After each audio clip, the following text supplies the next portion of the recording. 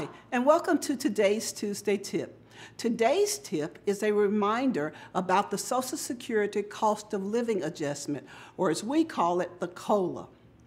Beginning January the 1st, 2018, residents who receive Social Security and Supplemental Security Income, SSI, will receive a 2% increase in their income.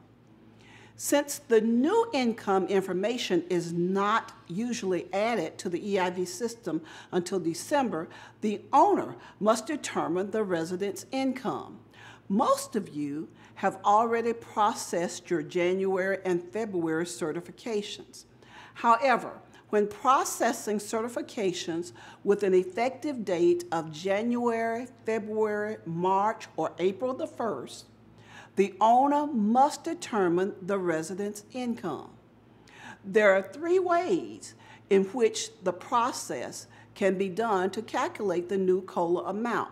First, you can use the amount that's in the report in EIV as long as the resident does not dispute it.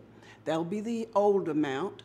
Secondly, use the Social Security Administration's benefit, award, or proof of income letters provided to you by the residents.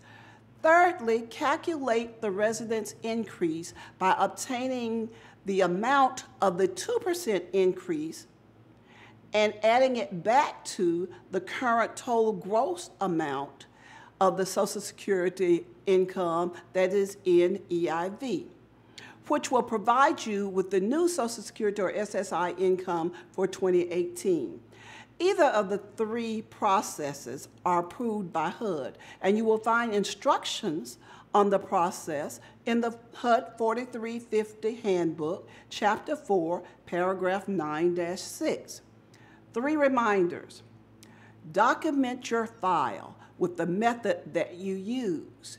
Second, any benefit, award letters, or proof of income letters have to be dated within 120 days from the date received by the owner. Thirdly, if the resident disputes the amount in EIV, you have to obtain a third-party verification directly from Social Security. And here's a personal reminder from me to you.